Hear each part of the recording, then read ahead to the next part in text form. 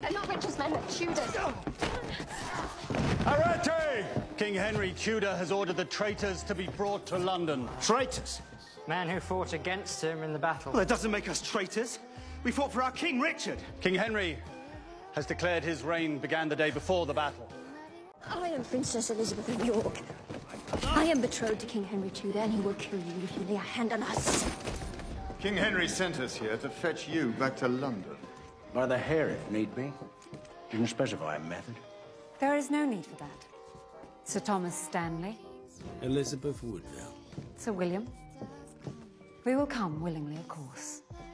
We've been waiting to be summoned. Where is the Earl of Warwick? Get out! Get out! Have it. Have everything you want. Please don't hurt us. The York, Uncle Richard! Teddy, no!